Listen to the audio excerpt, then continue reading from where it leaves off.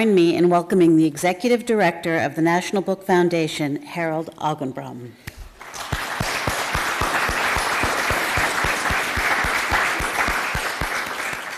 Each year, the National Book Awards judges select 10, the top 10 American authors in four categories, fiction, nonfiction, poetry, and young people's literature. The top 10 authors are announced in September, five finalists in each category are named in October, and one winner in each category is selected in November during a ceremony in New York. Now in its 11th year, the NBA on Campus program connects the nation's most accomplished writers with students and scholars at select colleges and universities across the country. Each year, this program brings finalists to campus to conduct master classes and public readings and discussions of their work. This year, I am so proud that Rollins joins Amherst, Concordia, and Sam Houston University to become the fourth NBA on campus partner and the sole representative in the Southeast. Mr. Augenbraum has said, we want to reflect the National Book Awards is the nation's premier literary event, and that's why we're partnering with schools like Rollins College that are strong in writing, literature, and the humanities. In many ways, Rollins is the perfect match for the NBA on Campus program. The National Book Foundation founded, it, uh, founded in 1950, has as its mission to celebrate the best of American literature, to expand its audience, and to enhance the cultural value of great writing in America. These values are deeply shared by Rollins College, the Department of English, and in particular by our Winter with the Writers program, directed by Professor Carol Frost, who herself is a former National Book Awards judge in the poetry category. Winter with the Writers is, as you know, a festival of literary arts that couples world-class writers with the college's creative environment, encouraging an appreciation of literary excellence in our American culture. So, tonight we are honored to have two National Book Award finalists join us in this inaugural event. Ross Gay, author of Catalog of Unabashed Gratitude, finalist for the 2015 National Book Award in Poetry, and Sy Montgomery, author of The Soul of an Octopus, finalist for the 2015 National Book Award for Nonfiction. To introduce our authors, it is my pleasure to introduce first Professor Carol Frost. She'll be coming in a moment. Um, Professor Frost, who holds the Theodore Bruce and Barbara Lawrence Alfond Chair of English, is the author of 12 books of poems. Her 2010 collection of poems, Honeycomb, was the recipient of the Gold Medal in Poetry from the Florida Book Awards. And in 2014, Tupelo Press published Entwined, three lyric sequences. Her poems have appeared in four Pushcart Prize anthologies, and she's been a recipient of two National Endowment of the Arts fellowships. Professor Frost has published poems in the Atlantic Monthly, American Poetry Review, Gettysburg Review, the Kenyon Review, and the New York Times, just to name a few. In addition, her essays on poetics have appeared in print, largely in the New England Review and on the web. In October 2008, her piece on Robert Frost, Sincerity and Inventions on Robert Frost, was posted on the Academy of American Poets website. In 2015, Rollins awarded Professor Frost the Bornstein Award for Faculty Scholarship, our highest honor, recognizing a Rollins faculty member whose outstanding scholarly achievement or creative accomplishment has helped bring national prominence to Rollins College. Ladies and gentlemen, it is my pleasure to introduce the Director of Winter of the Writers, Professor Carol Frost.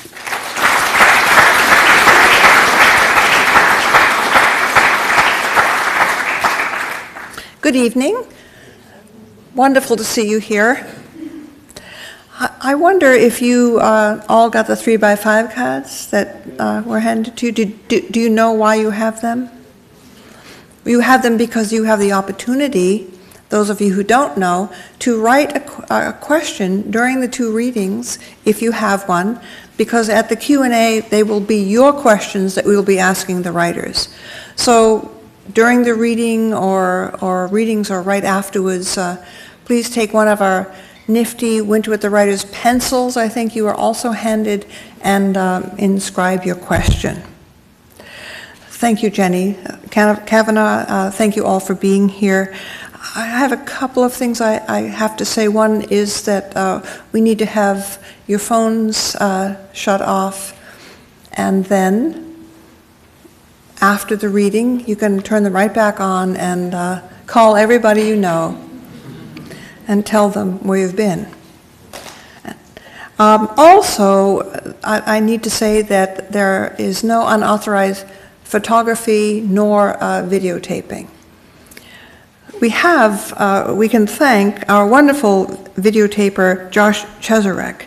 He's our first-rate official videographer. And you can, you'll be able to hear this again, uh, if you, if you wish, uh, both on our website and also on the National Book Awards website. So welcome to the final reading of a series of four during the 2016 Winter with the Writers season, and to the inaugural reading in partnership with the National Book Awards on-campus program. Welcome students, distinguished guests, readers, and writers. Tonight, it is my distinct pleasure to welcome and introduce to you and to Rollins College campus two notable writers, finalists for the 2015 National Book Awards. They are Ross Gay and Sy Montgomery. They'll read one after the other, having rolled dice in the green room about who goes first and who goes last. And I'll tell you about them separately right before each reading.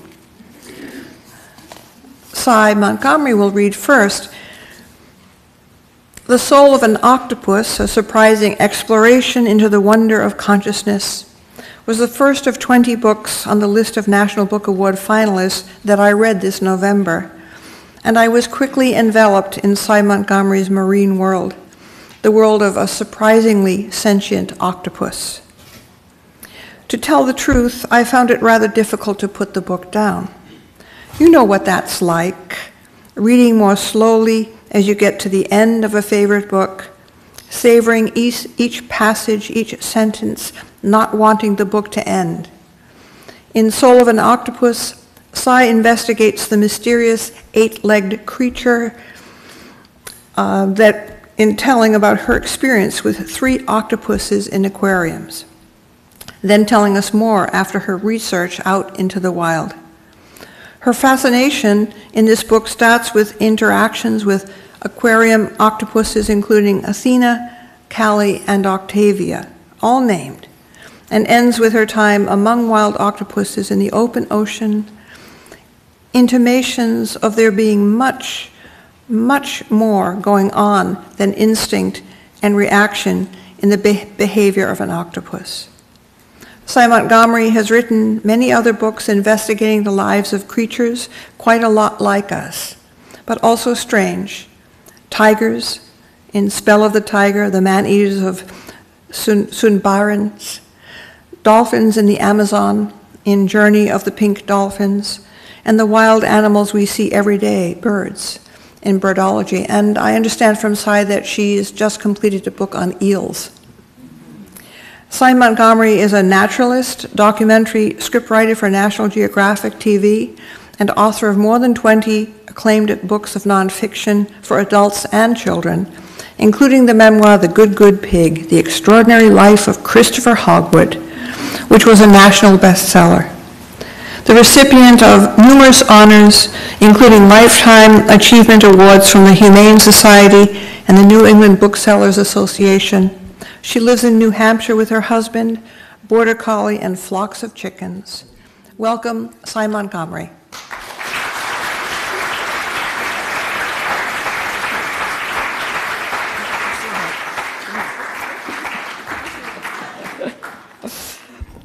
Thanks. What a treat to be here. And I've got to say, I received the most lovely welcome when I came yesterday, and I just want to tell you, Rollins College, you're number one.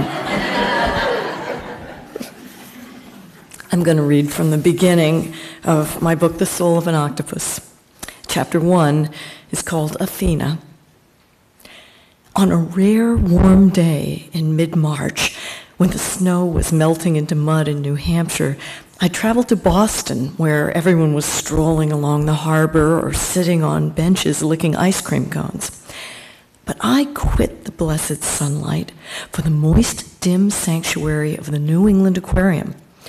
I had a date with the giant Pacific octopus. I knew little about octopuses, not even that the scientifically correct plural is not octopi, as I'd always believed. It turns out you can't put a Latin ending, I, on a word derived from Greek, such as octopus. But what I did know intrigued me. Here is an animal with venom like a snake, a beak like a parrot, and ink like an old-fashioned pen. It can weigh as much as a man and stretch as long as a car, yet it can pour its baggy, boneless body through an opening the size of an orange. It can change color and shape. It can taste with its skin. Most fascinating of all, I had read that octopuses are smart. This bore out what scant experience I'd already had. Like many who visit public aquariums, I'd often had the feeling that the octopus I was watching was watching me back with an interest as keen as my own. How could that be?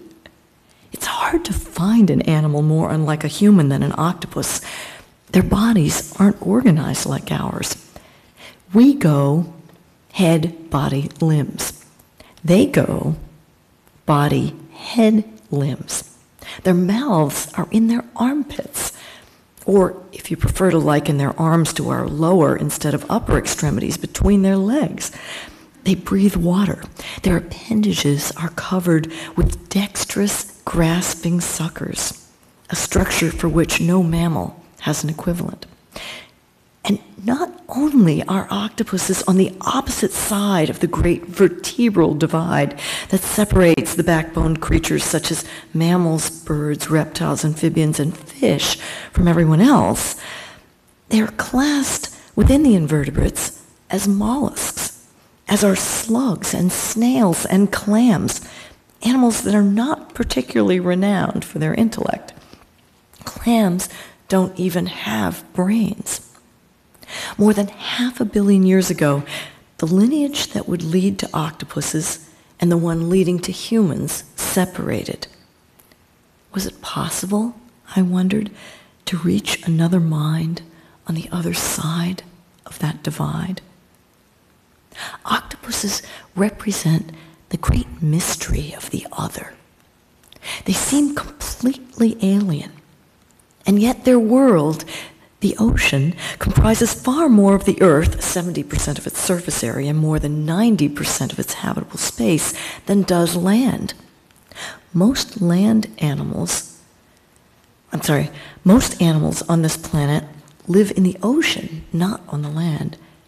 And most of these animals are invertebrates. I wanted to meet the octopus. I wanted to touch an alternate reality. I wanted to explore a different kind of consciousness, if such a thing exists. What's it like to be an octopus? Is it anything like being a human? Is it even possible to know?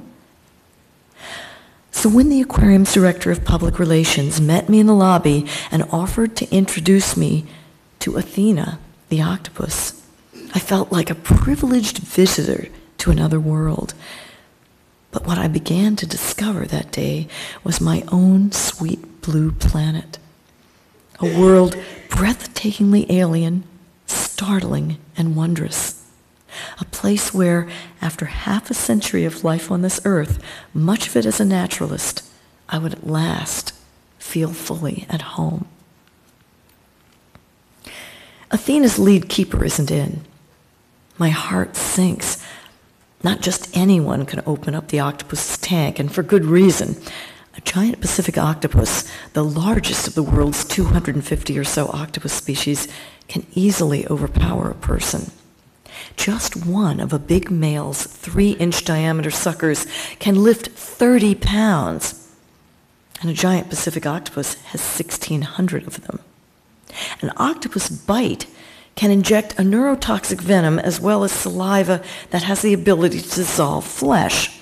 And worst of all, an octopus can take the opportunity to escape from an open tank, and an escaped octopus is a big problem. Happily, though, another aquarist, Scott Dowd, will help me. Big guy in his early 40s with a silvery beard and twinkling blue eyes. Scott is the senior aquarist for the Freshwater Gallery, which is down the hall from Cold Marine, where Athena lives. Scott first came to the aquarium as a baby in diapers on its opening day, June 20th, 1969, and basically he never left. He knows every animal in the aquarium personally. Athena is about two and a half years old and weighs roughly 40 pounds, Scott explains as he lifts the heavy lid covering her tank. I mount the three short steps of a small movable stair and lean over to see. She stretches about five feet long. Her head, and by head I really mean both the actual head and the mantle or body, because that's where we expect an animal's head to be, is about the size of a small watermelon, or at least a honeydew, says Scott. When she first came, it was the size of a grapefruit. The giant Pacific octopus is one of the fastest growing animals on the planet. Hatching from an egg the size of a grain of rice, one can grow both longer and heavier than a person in three years. By the time Scott has propped open the tank cover, Athena has already oozed from the far corner of her 560 gallon tank to investigate us. Holding to the corner with her two arms, she unfurls the others, her whole body red with excitement, and reaches to the surface. Her white suckers face up like the palm of a person reaching out for a handshake. May I touch her? I ask Scott. Sure, he says. I take off my wristwatch, remove my scarf, roll up my sleeves, and plunge both arms elbow deep into the shockingly cold 47 degree Fahrenheit water. Twisting, gelatinous, her arms boil up from the water, reaching for mine. Instantly, both my hands and forearms are engulfed by dozens of soft, questing suckers. Not everyone would like this. the naturalist and explorer William Beebe found the touch of the octopus repulsive. I've always a struggle before I can make my hands do their duty and seize a tentacle, he confessed. Victor Hugo imagined such an event as an unmitigated horror leading to certain doom. The specter lies upon you. The tiger can only devour you, but the devilfish Horrible sucks your lifeblood away, Hugo wrote in Toilers of the Sea. No animal is more savage in causing the death of man in the water, Pliny the Elder wrote in Naturalis Historia circa AD 79. For it struggles with him by coiling round him, and it swallows him with sucker cups and drags him asunder. But Athena's suction is gentle though insistent. It pulls me like an alien's kiss. Her melon-sized head bobs to the surface, and her left eye, octopuses have a dominant eye as people have dominant hands, swivels in its socket to meet mine. Her black pupil is a fat hyphen in a pearly globe. Its expression reminds me of the look in the eyes of paintings of Hindu gods and goddesses, serene all knowing, heavy with wisdom, stretching back beyond time. She's looking right at you, Scott says. As I hold her glittering gaze, I instinctively reach to touch her head. As supple as leather, as tough as steel, as cold as night, Hugo wrote of the octopus's flesh. But to my surprise, her head is silky and softer than custard. Her skin is flecked with ruby and silver, a night sky reflected on the wine-dark sea. As I stroke her with my fingertips, her skin goes white beneath my touch. White is the color of a relaxed octopus. In cuttlefish, close relatives of octopus, females turn white when they encounter a fellow female, someone who they need not fight or flee. It's possible, in fact, that Athena knows I'm female. Female octopuses, like female humans, possess estrogen. She could be tasting and recognizing mine. Octopuses can taste with their entire bodies, but this sense is most exquisitely developed in the suckers. Athena's is an exceptionally intimate embrace. She's at once tasting and touching my skin, and possibly the muscle, bone, and blood beneath. Even though we've just met, Athena already knows me in a way no being has known me before. And she seems as curious about me as I am about her. Slowly, she transfers her grip on me from the outer suckers at the tips of her arms to the stronger, larger ones nearer her head. I'm now bent at a 90 degree angle, folded like a half open book as I stand on the little step stool, and I realize what's happening. She's pulling me steadily into her tank. How happily I'd go with her. But alas, I wouldn't fit. Her lair is beneath a rocky overhang into which she can flow like water, but I cannot, constrained as I am by bones and joints. The water in her tank would come to chest height on me if I were standing up, but the way she's pulling me, I would be upside down, head first in the water, and soon facing the limitations of my air-hungry lungs. I ask Scott if I should try to detach from her grip, and he gently pulls us apart, her suckers making popping sounds like small plungers as my skin is released.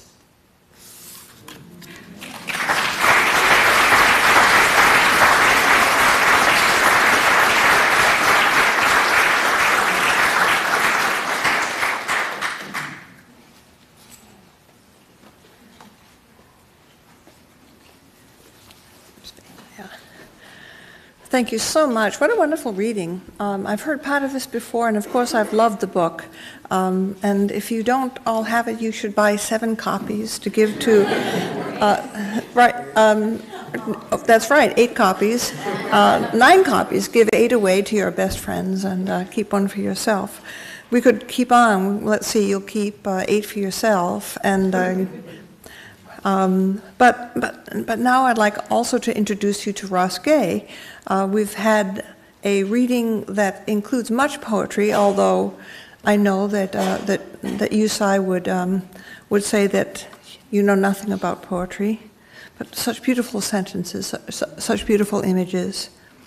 We're pleased to have Ross Gay here at Rollins College this evening as a Winter with the Writers guest. I can tell you that Winter with the Writers interns, 13 fortunate undergraduates, have been ultra excited. One of the perks of being an intern during our yearly festival is walking with an author from hotel to masterclass, meet and greet to lunch, and so on. It's an opportunity to talk a little bit about verse or humanity with the sun hopefully shining or the rain light. Ross could be Pied Piper. He has so many followers. And after this reading, if you don't already know why this is so, you will hear it in his cadences, his joyful noise, his sensual lines, his hot, hotfulness that includes both darkness and grace. As if in the dream of light, Gerald Stern said of his first book, he cannot allow himself to forget the darkness. He is so given over to the honest and accurate rendering. Yes, you will hear every reason to go along with him wherever he leads. Ross Gay is the author of three books of poems, Against Which, Bringing the Shovel Down, and his latest collection catalog of unabashed gratitude, which was a 2015 National Book Awards finalist. He is also the co-author with Aimee uh, Nezukum Mahahil of the chapbook Lace and Pyrite, Letters from Two Gardens, in addition to being co-author with Richard Wehrenberg Jr. of the Chapbook River. He is the founding editor with Karissa Chen and Patrick Rosal of the online sports magazine, some call it Ballin, in addition to being an editor with the Chapbook Press's Q Avenue and Ledge Mule Press. Ross is a founding board member of the Bloomington Community Orchard, a nonprofit free fruit for all, uh, free fruit for all food, justice, and joy project. He has received fellowships from Cave Canem, the Bread Loaf Writers Conference, and the Guggenheim Foundation. Ross teaches at Indiana University. Best of all, Ross Gay is in the auditorium.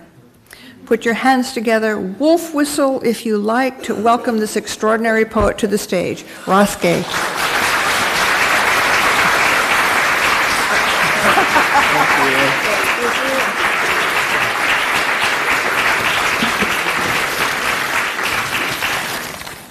You.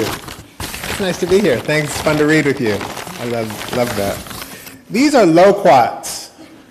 Someone was kind enough. What's your name? Who brought these? Mary. Mary. That was so kind of you. My God. A loquat does not grow in Indiana, nor does it grow in Boston, where I'm living right now. So this is an incredible gift. God, they're a little underripe, but they're delicious still. So, thank you. It's really fun to be here. It's fun to be here with you. Thank you. I'm going to read a poem um, from Mary um, because there's nothing, I mean, there's a lot of nice things you can do for someone.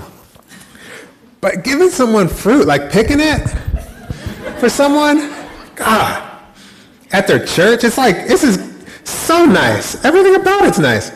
This is called To the Mulberry Tree. How many of you have eaten mulberries off the tree? Okay, a lot of people. None of you students have. What are you studying? to the mulberry tree. Everyone knows it's good luck, if inconvenient, when a bird shits on you. But even more so, good luck if the bird shits on you when you're plucking gold currant tomatoes, sweet enough to make your bare feet lift just so off the ground, and the beetles beneath scurry and giggle.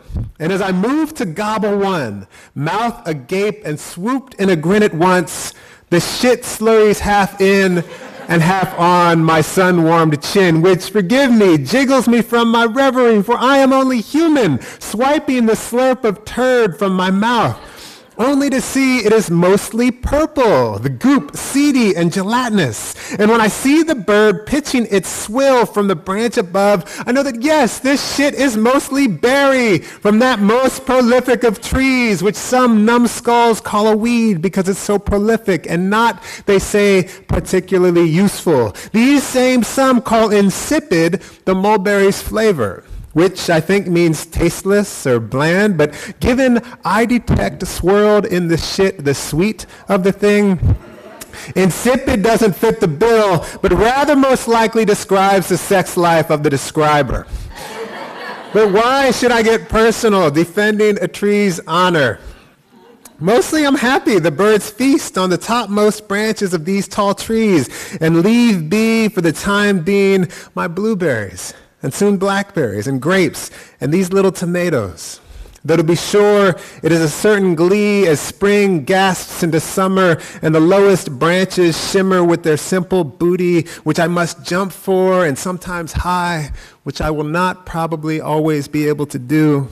For jumping and grabbing at once like this, a soft thing, is hard.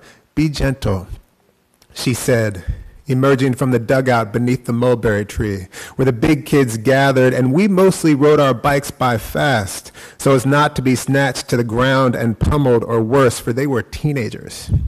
But I knew this early July morning they would be nowhere to be found, and the tree would be burdened with a crop begging to be loosed on my ice cream. She wiped her eyes and yawned and put on glasses, and there was in her hair a little sprig of grass. And she was barefoot, laughing and filling with me slowly my bucket, eating a few when it was full, giggling at the small burst of juice one made on her chin. And behind her, beneath the tree, There was a filthy blanket and a pack of cigarettes and tinfoil wrappers crumpled and shimmering and the frayed remnants of a rope. And seeing me seen into the terrible future, she put softly one hand on my chin and the other in my hair, turning my head away from what wreckage waited in there and back into the leaves, which too I will do to you, so that none of us will ever die terribly, but stay always like this, lips and fingers blushed purple, the faint sugar ghosting our mouths beneath the tree inside me, which is now the same tree grown inside you. All of us snugged in the canopy on our tippy toes, gathering fruit for good.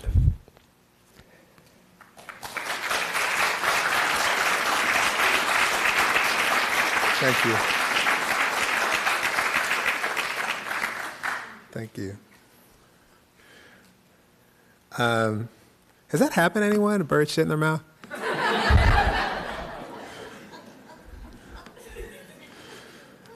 Um, um, is Grace in the audience?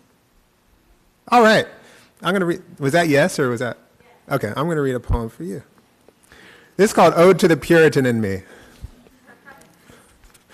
There is a Puritan in me, the brim of whose hat is so sharp it could cut your tongue out.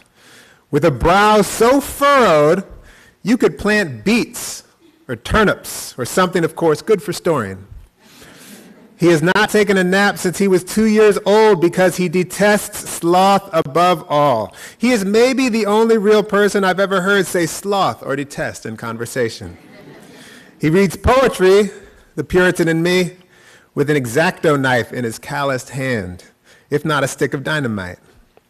And if the Puritan in me sees two cats making whoopee in the barn, I think not because they get in the way or scare the cows, but more precisely because he thinks it is worthless, the angles of animals fucking freely in the open air, he will blast them to smithereens.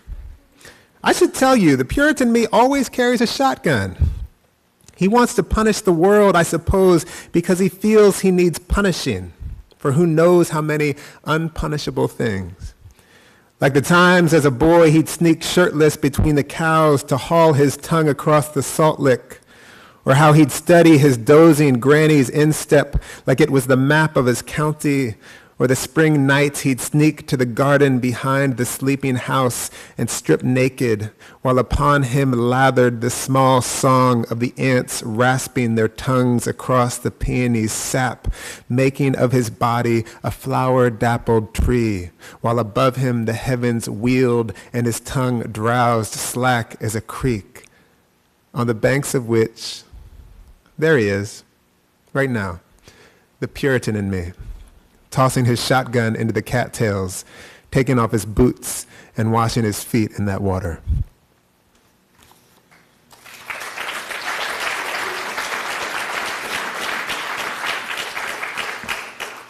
Okay, I'm going to read um, two more poems. One of them's kind of long, so um, three short poems and shorter poems and one longish one. Um, this one is called Ode to sleeping in my clothes, which I like to do time to time. I don't have a problem. and though I don't mention it to my mother or the doctors with their white coats, it is in fact a great source of happiness for me, as I don't even remove my socks and will sometimes even pull up my hood and slide my hands deep in my pockets and probably more so than usual look as if something bad has happened my heart blasting a last somersault, or some artery parting like curtains in a theater while the cavalry of blood comes charging through, except unlike so many of the dead, I must be smiling there in my denim and cotton sarcophagus, slightly rank from the day. It is said that Shostakovich slept with a packed suitcase beneath his bed, and it is said that black people were snatched from dark streets and made experiments of. And you and I both have family whose life savings are tucked 12 feet beneath the Norway maple whose roots splay like the bones in the foot of a man who has walked to Youngstown, Ohio from Arkansas without sleeping or keeping his name. And it's a miracle maybe I almost never think of, to rise like this, and simply by sliding my feet into my boots while the water for coffee gathers its song, be in the garden or on the stoop, running almost from nothing. And this last poem I'm going to read you is called Catalog of Unabashed Gratitude. It's a little bit long. I should tell you, I have to pee.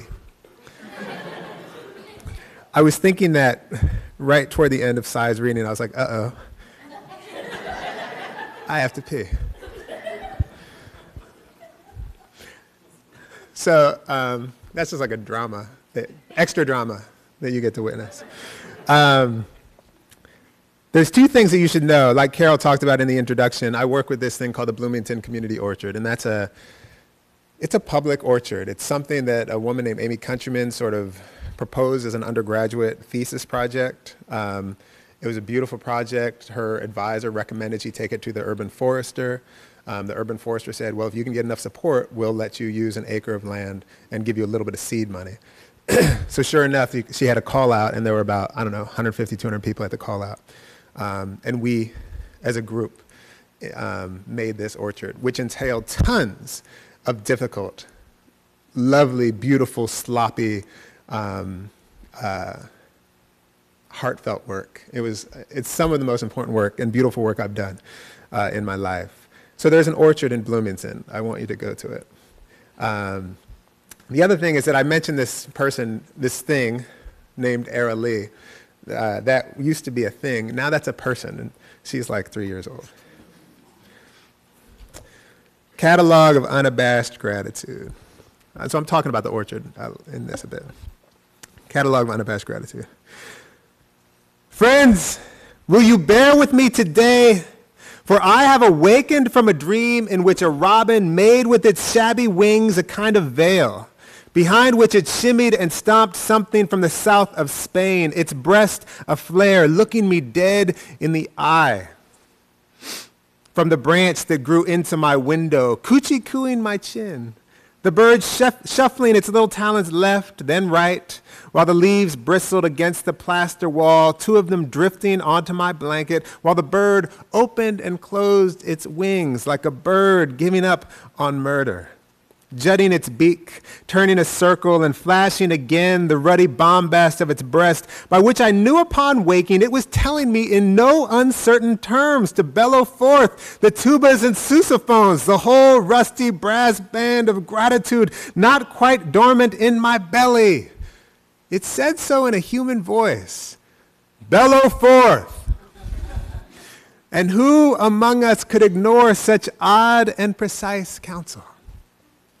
Hear ye, hear ye, I am here to holler that I have hauled tons, by which I don't mean lots, I mean tons of cow shit, and stood ankle deep in swales of maggots swirling the spent beer grains the brewery man was good enough to dump off, holding his nose, for they smell very bad to make the compost writhe giddy and lick its lips, twirling dung with my pitchfork again and again with hundreds and hundreds of other people. We dreamt an orchard this way, furrowing our brows and hauling our wheelbarrows and sweating through our shirts. And less than a year later, there was a party at which trees were sunk into the well-fed earth, one of which, a Liberty apple, after being watered in, was tamped by a baby barefoot with a bow in her hair, biting her lip, and her joyous work. And friends, this is the realest place I know. It makes me squirm like a worm. I'm so grateful. You could ride your bike there, or roller skate, or catch the bus. There's a fence and a gate twisted by hand. There was a fig tree taller than you in Indiana. It will make you gasp and might make you want to stay alive even. Thank you. And thank you for not taking the pa- my pal when the engine of his mind dragged him to swig fistfuls of Xanax and a bottle or two of booze. And thank you for taking my father a few years after his own father went down. Thank you, Mercy. Mercy, thank you for not smoking meth with your mother. Thank you for leaving and for coming back. And thank you for what inside my friend's love bursts like a throng of roadside goldenrod gleaming into the world, likely hauling a shovel with her like one named Era Lee ought, with hands big as a horse's, and who, like one named Era Lee ought, will laugh time to time till the juice runs from her nose. Oh, thank you for the way a small thing's wail makes the milk, or what once was milk in us, gather into horses huckle buckling across a field. And thank you, friends, when last spring the hyacinth bells rang and the crocuses flaunted their upturned skirts and a quiet roved the beehive which when I entered were snugged two or three dead fist-sized clutches of bees between the frames, almost clinging to one another. This one's tiny head pushed into another's tiny wing, one's forelegs resting on another's face, the translucent paper of their wings fluttering beneath my breath, and when a few dropped to the frames beneath, honey. And after falling down to cry, everything's glacial shine. And thank you to, I'm not done. no, hang on. We got time. I know. Huh? Put your seatbelt on. And thank you. and thank you, too. And thanks for the corduroy couch I have put you on. Put your feet up. Here's a light blanket, a pillow, dear one, for this is going to be long. I can't stop my gratitude, which includes, dear reader, you, for staying here with me, for moving your lips just so as I speak. Here's a cup of tea. I've spooned honey into it. And thank you, the tiny bee's shadow, perusing these words as I write them. And the way my love talks quietly when in the hive. So quietly, in fact, you cannot hear her, but only notice barely her lips moving in conversation. Thank you, what does not scare her in me, but makes her reach my way. Thank you, the love she is, which hurts sometimes. And the time she misremembered elephants in one of my poems, which, oh, here they come. Garlanded with morning glory and wisteria blooms, trombones all the way down to the river.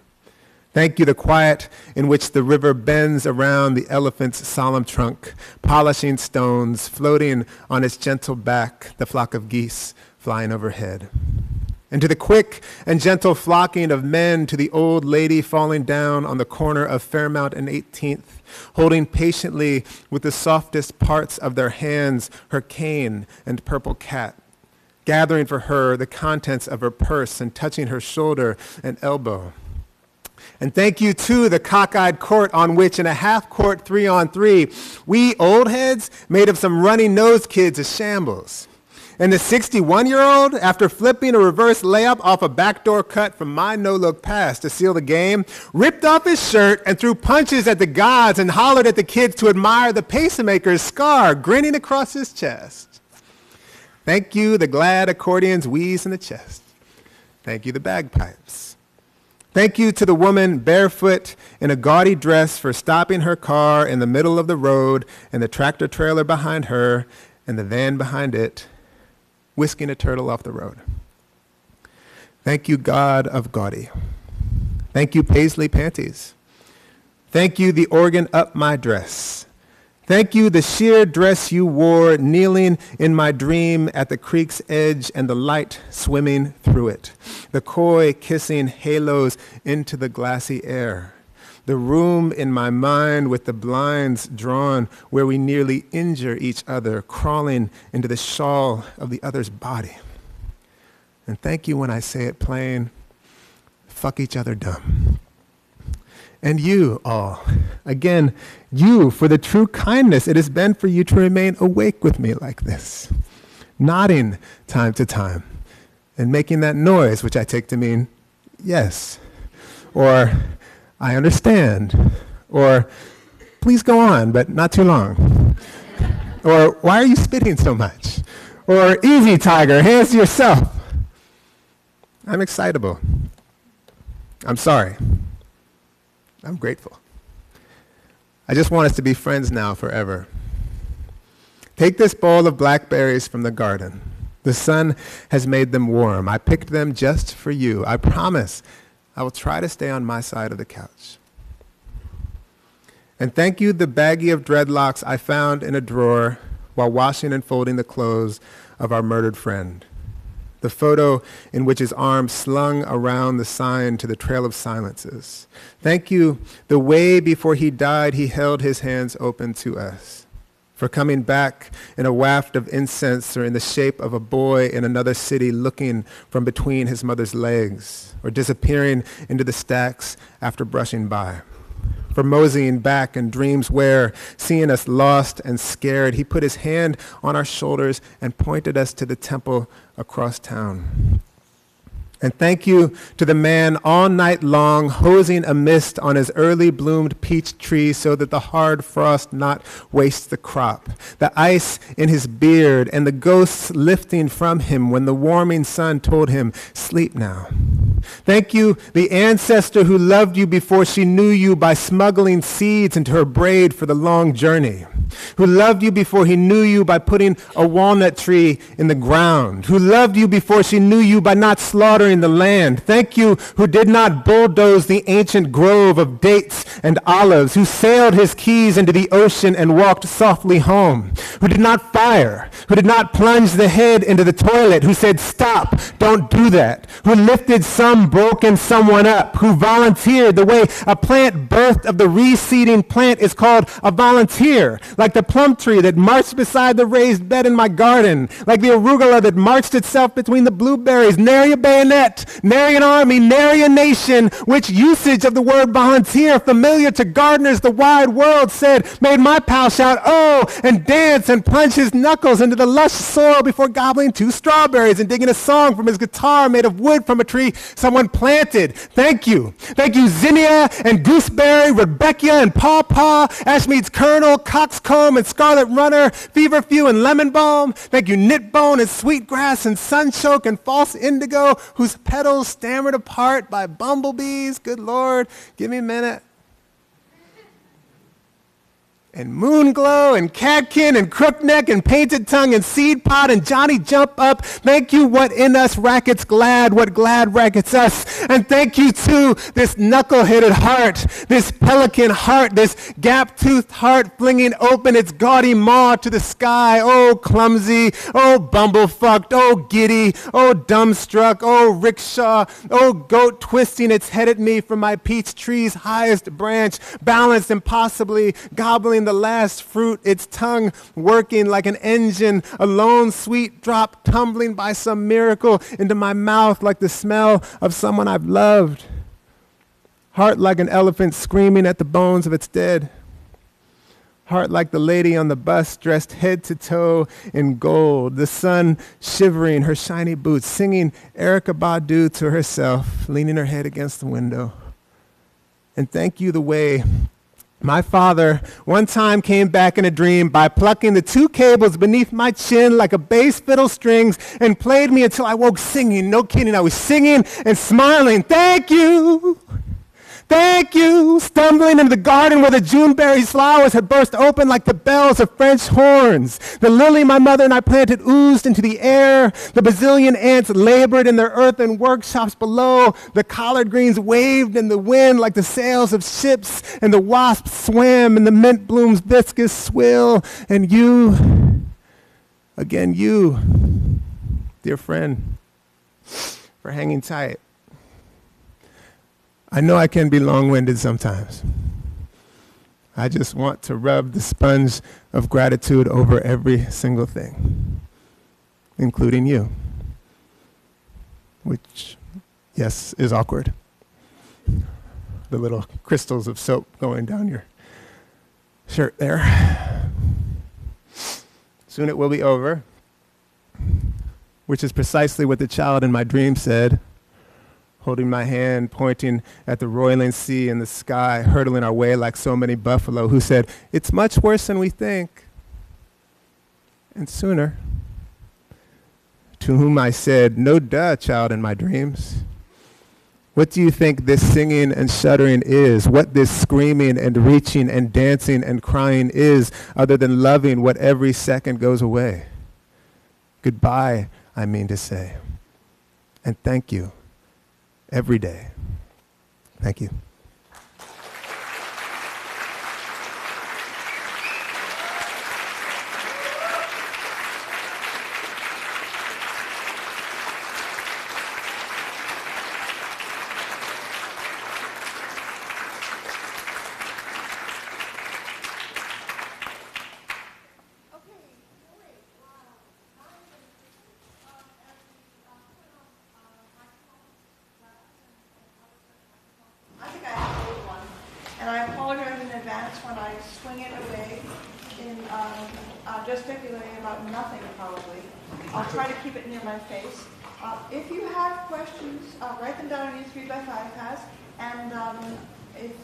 Will come up, then we can, uh, we can collect the, uh, collect and bring them up here, and we'll have a Q and A.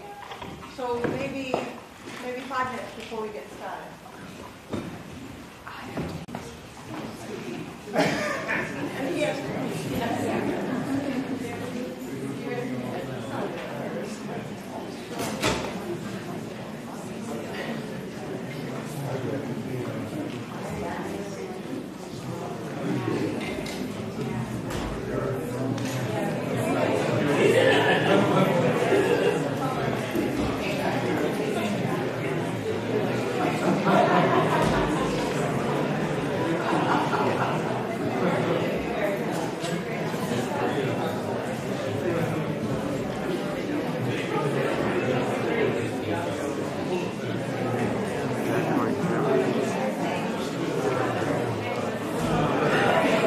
you repeat that?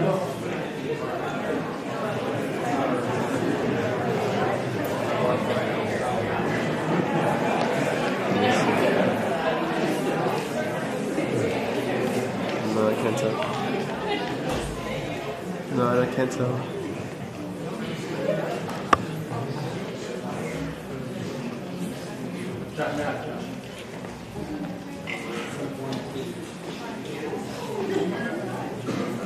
No, it doesn't.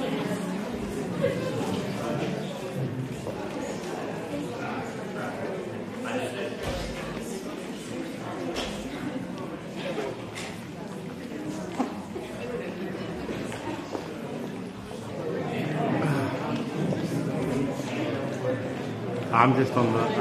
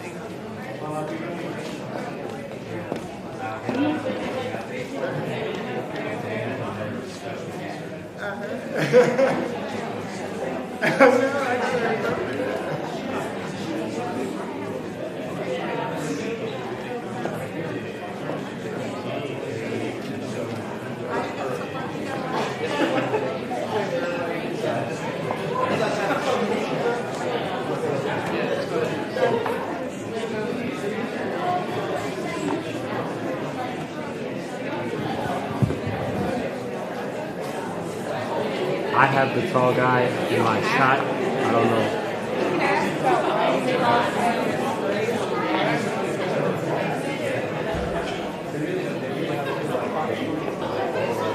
Copy.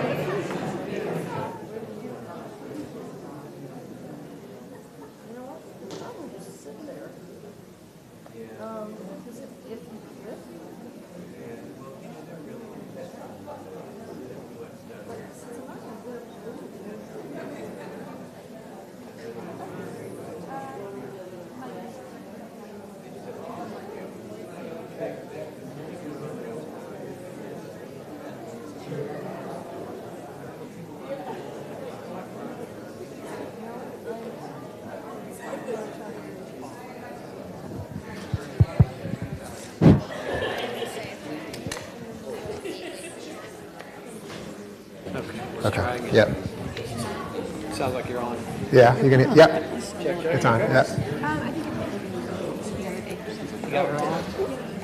I almost tripped you.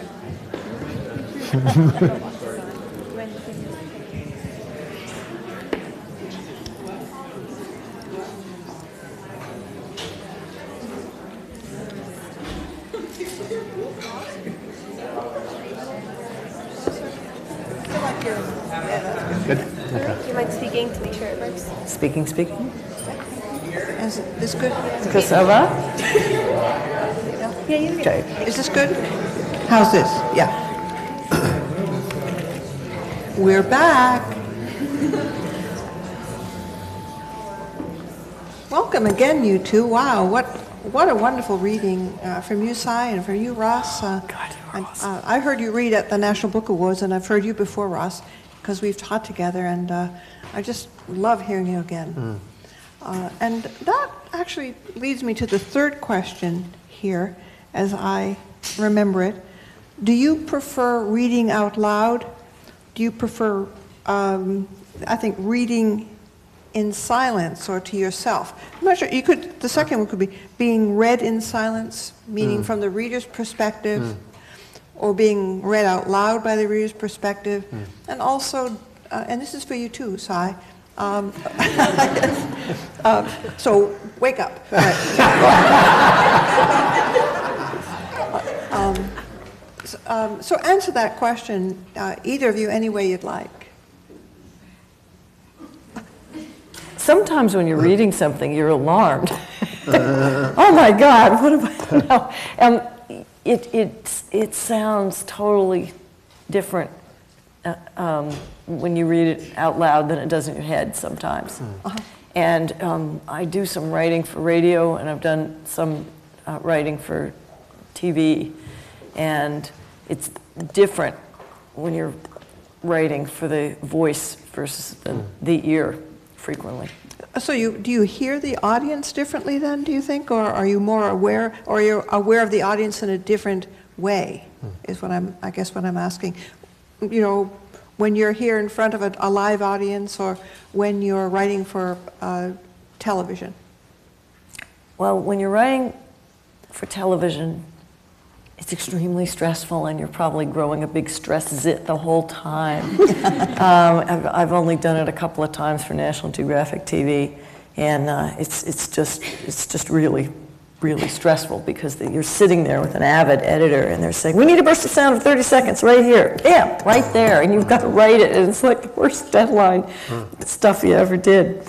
Um, but for radio, and uh, for example, you know, you're, you're writing shorter sentences. You're writing for the for the for the voice, not the brain.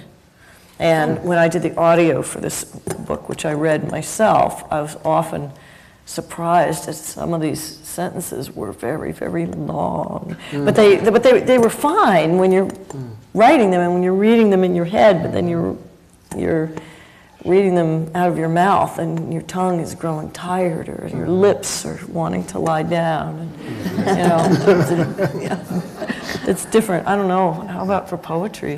Well, I definitely read. I, I write poems with the. I'm thinking that they're going to be both on a page and all, in the air, like no doubt about it. Um, So I will revise sometimes because I can't say a thing.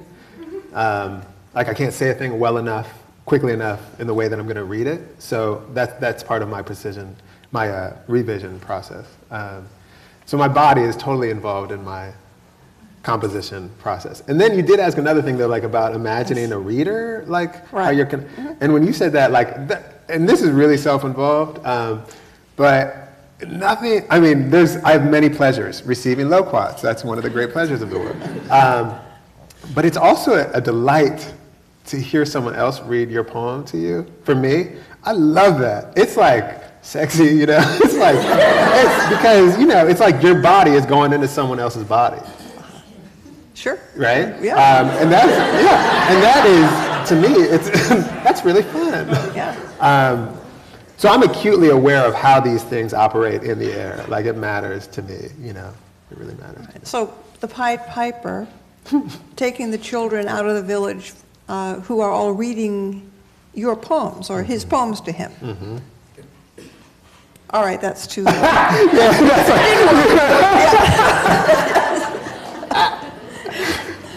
I'll change the question. Um, How does, uh, I think this is a wonderful question. How does wonder play a part in your process and uh, your inspiration? What is sheer wonder? I'll start. Um, and uh, one, uh, one of the things that I said to Sy when we first got here is that it feels like a fun match uh, because we're both sort of like wonderstruck by, that's sort of our, uh, our mode in some way, um, to be sort of blown away by the earth or various things. Um, I don't know. I mean, just like sort of uh, the sort of fundamental premise of my poetry thing is like questions, and I said this in the class today. Like questions are what I am uh, intrigued by. Questions, I'm intrigued by. You know, questions make me want to write poems. Questions actually make me want to be alive. You know, questions make me interested in other people and other people's poetry. Um, so, and that is to me very much connected to wonder. A state of wonder is also a state of like, how is this possible or what is this thing? And i'm not particularly interested at always finding out what is this thing actually. I'm often interested in being like wow this is a wonderful thing you know? So yeah. And Sy? Yeah, well, absolutely. Mm-hmm. I- And I, I feel that very much in your poetry, mm-hmm. that you are just gobsmacked mm-hmm. by this world. And, and I, I feel that way too. And um, every, every book I've ever written is a falling in love, you mm-hmm, know? Mm-hmm. Um, every, every time you do this, you're just opening yourself up for mm-hmm. something entirely new and letting it gobble you up uh-huh. and fill you up uh-huh. and astonish you over and over and over. And, um, and this is one reason why it's easy for me to write for kids. Mm. Yeah yeah yeah. Because they, they haven't, they can do that. Yeah, and, and trying to get that beginner's mind. I always feel that beginner's mind because I'm always as- astonished Right. by the way things work if you just pay attention. Mm-hmm. And boy, in the sea, it's really like that. We were talking about your, your poem about the sea hare. I mean, but there's so much stuff in the world mm-hmm. that you would never would have come up with, you know, and, and you're just like, look at that. Mm-hmm. We've been spending our time on Google uh, looking up creatures and trying to figure out, is this a cooter turtle or is this a uh, gopher turtle? I thought it was a gopher turtle. It turned out to be a cooter in, in our back, um, oh, oh, no, tortoise, sorry, a gopher tortoise or a cooter turtle. And we decided it was a, a, a, a turtle, right? A Yes. cooter, yeah. And then sea hares and what else were we looking up? Uh, a couple of other things. Um, some of the students. Corey, what were you, what were you showing us? Oh, wait, the turtle, I guess, right? Well, also that tree man. Oh, yeah. Oh, my goodness. Right. And it, but it doesn't have to be, right? But it doesn't have to be something extraordinary. Just the ordinary is uh, full of wonder for, for writers, oftentimes, don't- don't you think? yeah that's like the practice like Yeah.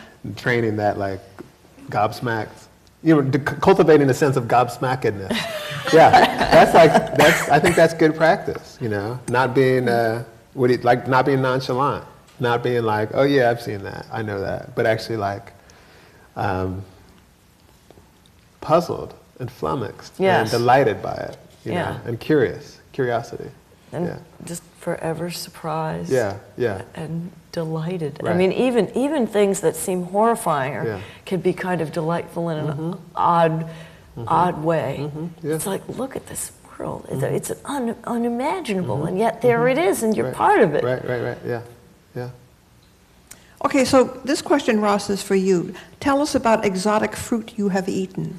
Exotic fruit. Um, loquats, I guess. Uh, just this night. What are you know, my dad? I made a bunch of different kind of fruits. Uh, pawpaw. Do y'all know the pawpaw? Sure. An American fruit. Um, what else? American persimmon. That's a fruit that a lot of people have not eaten. How many of you eaten American persimmons? That's a good fruit. That's a really good fruit. Yeah, if it's not ripe, it's a really bad fruit. It's a really bad fruit. Um, my dad was a sweet man, and he would even like we we barely could talk for a bunch of years, but he would always like if he had a chance. I don't know if he went by a market or something. He'd find like a fruit that he thought I had never had before, and he'd give it to me, you know, um, and he'd bring it home, and and you know, like we could barely talk, but I kind of imagine him like looking from afar, like me eating the fruit, and usually being pretty excited by it and not being able to say thanks, Dad, really. Um, but him seeing me being delighted, being really sweet. Have you had the, the May apple? That's a northeastern fruit. I haven't eaten that. Yeah, I have not eaten that. Delicious. Is it? Yeah, if you visit us in New York. Okay, At yeah. the right season. Okay. Okay? Yeah, It's a little yeah. bit that, what we were talking about before, kind of a combination between a lemon and a strawberry. Oh, it is. So it's tart, and you make wonderful, you make wonderful jelly out of it. Wow. Yeah.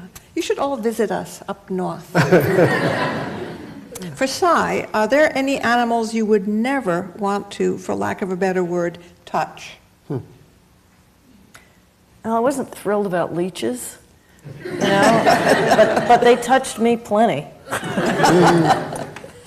yeah, I guess, um, and certain kinds of stinging ants.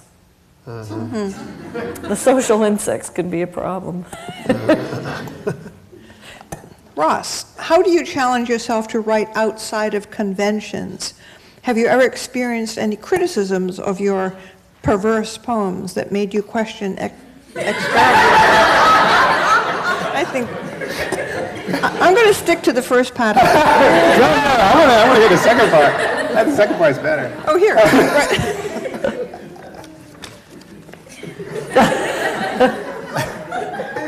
So the question is, have you ever experienced any criticism of your more perverse poems that made you question experimentation? what kind of experimentation? What are you talking about? Um, that is so funny. Um, you know, I'll say this. There was a guy who reviewed a book of mine, and this is really funny.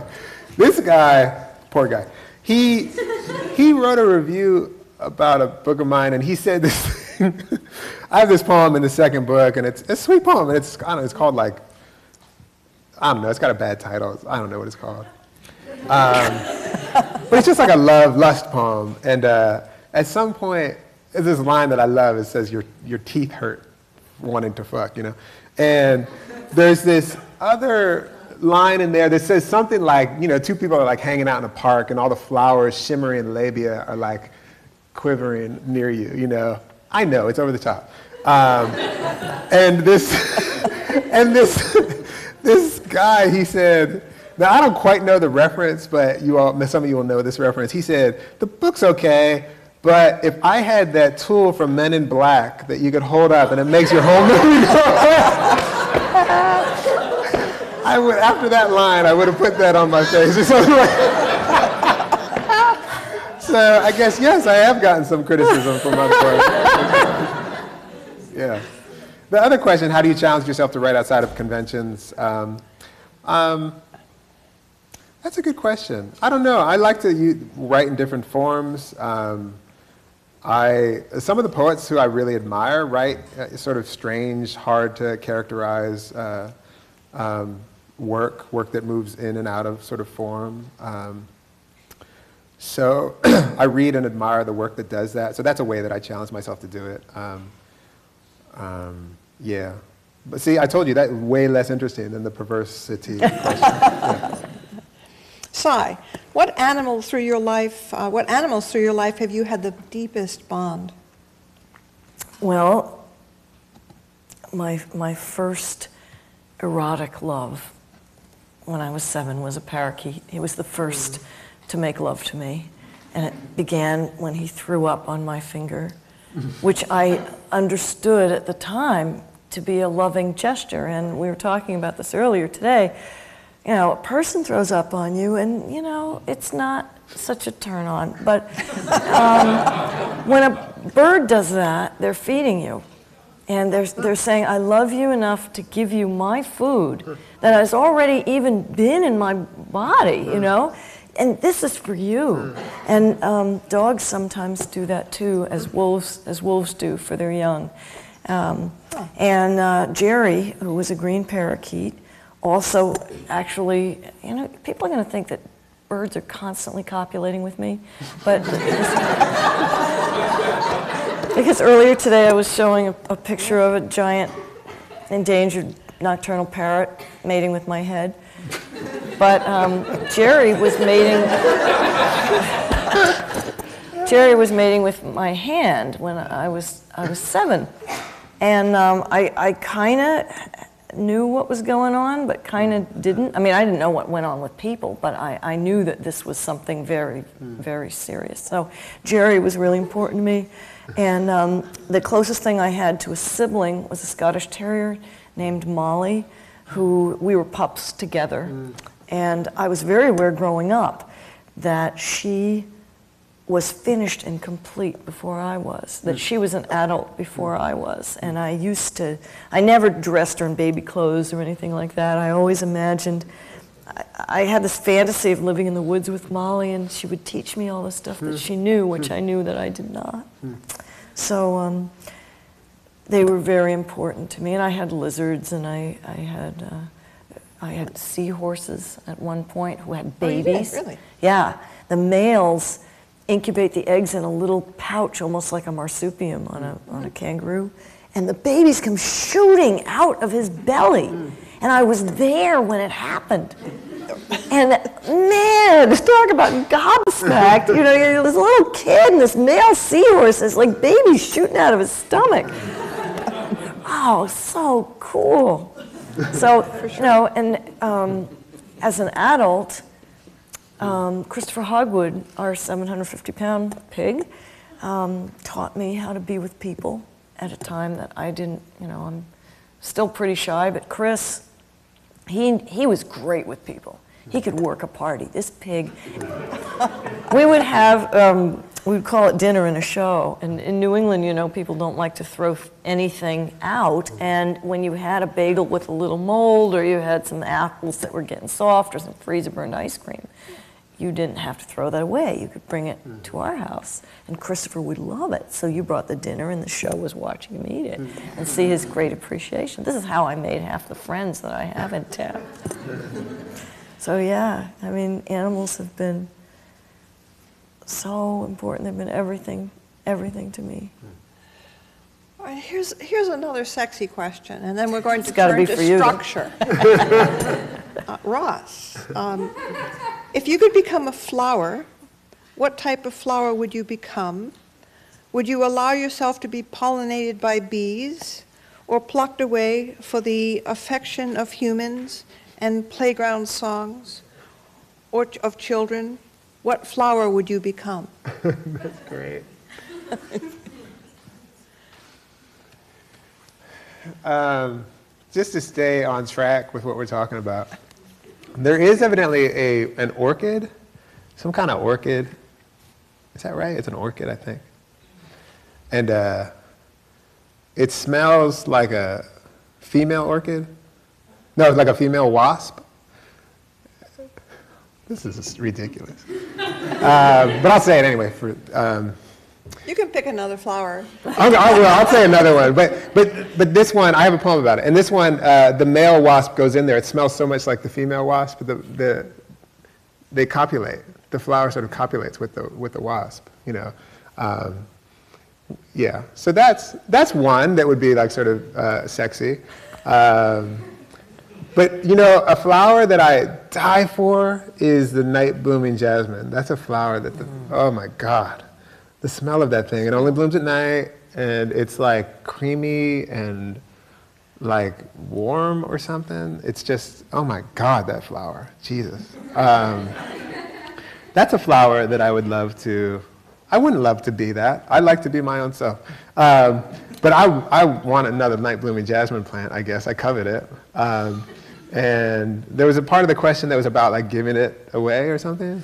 Yeah, um, would you, here, well, um, I'll give it to you again. Well, you can have You can make of it as you will. Yeah. Would you allow yourself to be pollinated by bees? Oh, the pollinated by bees one was why I went dirty. Um, or, or plucked away by, for the affection of humans in playground songs or children. I mean, you know, yes, I'd allow myself to be plucked away for the affection of humans in playground songs of, of, of uh, children. Of course, I'd allow myself to be plucked away, but I'd prefer just to stay in my living room if I could. Sy, how do you decide how to organize the structure of your stories, alternating between anecdote and uh, meditation so seamlessly? And then any advice on pacing? Wow. Um,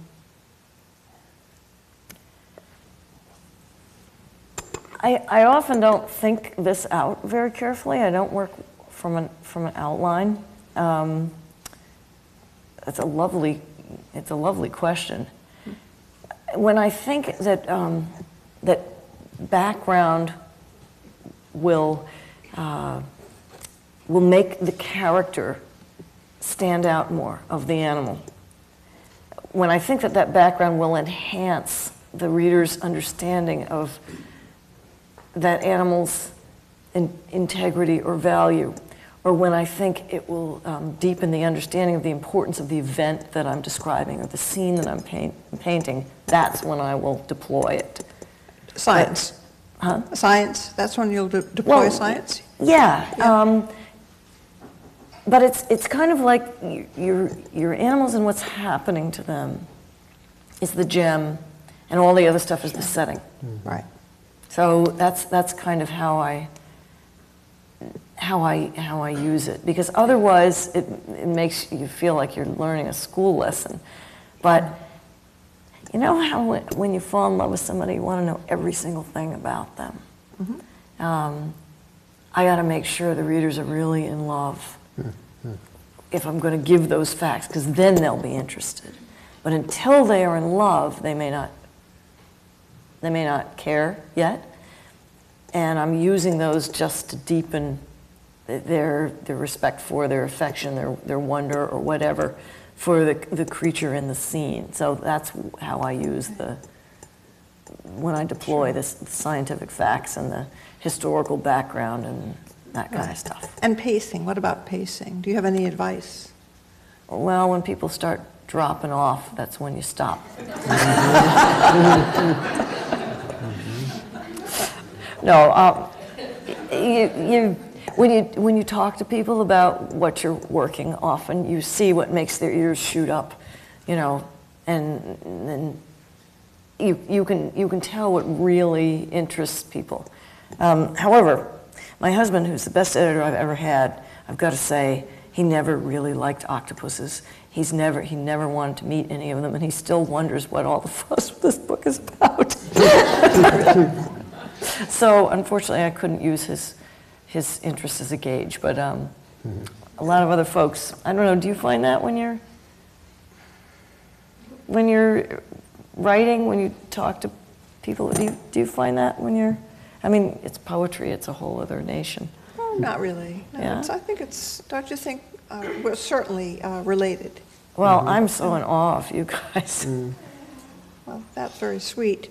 Um, And so we'll change the topic. to what? Um, Okay, so I, th- I think this question is, uh, is meant in one way, but I'm going to broaden it. Okay. And the question is, what is your favorite work? I think it's, it's meant of yours, and why? And the second question that goes with that is, do you feel that your work became more authentic once you were not under the influence of academic mentorship? Hmm. But the other question I'd like to ask you is, what is your favorite work by others? Hmm. Mm-hmm. So that's three questions in one. Yeah, yeah, yeah, Yeah. And the question is, what's my favorite? Work of your own, I think. I think that's the initial Yeah. question. Yeah. Um, I mean, I don't. You know, I have, I have a handful of poems in this new book that I. I mean, I like. I like the poems in this new book. There's one poem in there called "Spoon," um, that um, I, it really sort of how it moves, I'm really glad about. It felt really lucky to have sort of caught it, you know? Um, I could not have written that poem two weeks before that, you know? It was just, it arrived. Um, I mean, ways, and, you know, a t- ton of, ton of sort of work, but it, it, it interests me a lot still. It's still really mysterious and puzzling to me. Um, um, I don't know about an authentic voice. I don't.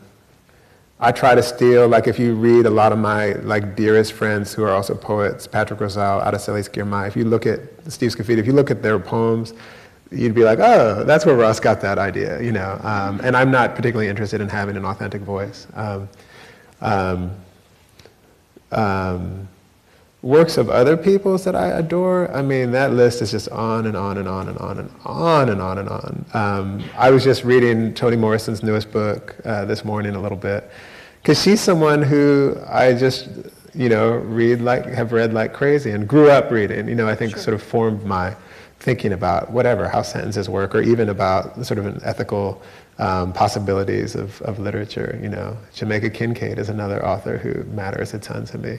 Um, Gerald Stern, you know, my my academic, my mentor, um, and on and on and on. You know how it goes, like forever. Have you talked with Jamaica about gardening? I mean, face No, to face? No? no. That would be interesting. I mean, Yeah. You both know so much, I think, Yeah, about it. yeah, yeah. It'd be fun. Yeah. Um, What helps you remember the events of your books so vividly? How do you remember conversations Hmm. and? Oh, I take notes. I take notes. But with something like this, your hands are in the water and they're frozen and they're wet. So that is really hard. So I would take my hands out of the water and run them under hot water and quickly write down everything mm-hmm. immediately. Mm-hmm. And um, in the in the oh, you know what? They didn't have an author photo, but there is a photo in that book in which I'm underwater with a dive slate, hmm. taking notes hmm. underwater hmm. with an octopus. So yeah, I, I write it down. And when I when I travel for my other books, you know, I always have a, a little memo pad in my breast pocket. And that night, you know, when you're tired and you've got, you know, ticks to remove and you- you're just exhausted and you want nothing but to go to sleep, that's when I go over all of my notes and I write usually an essay that night in my in my field journal.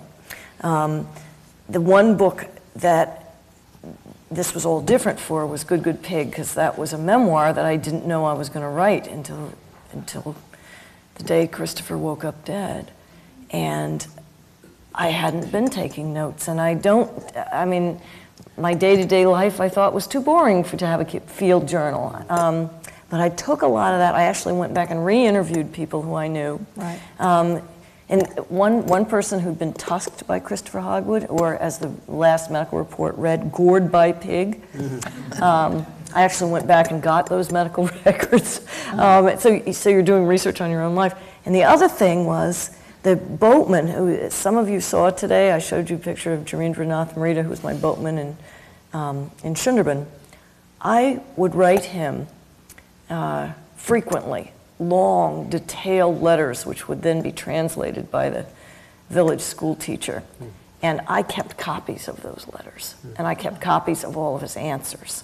And in that, a lot of the incidents that I describe in Good Good Pig were, were recorded in fresh detail. Is this the, is this the uh, boatman you had met uh, while you were writing the book on the, ti- on the man-eaters? Yes. Yeah. right. Yes. And you remain good friends. We did, and then one day the letters just stopped.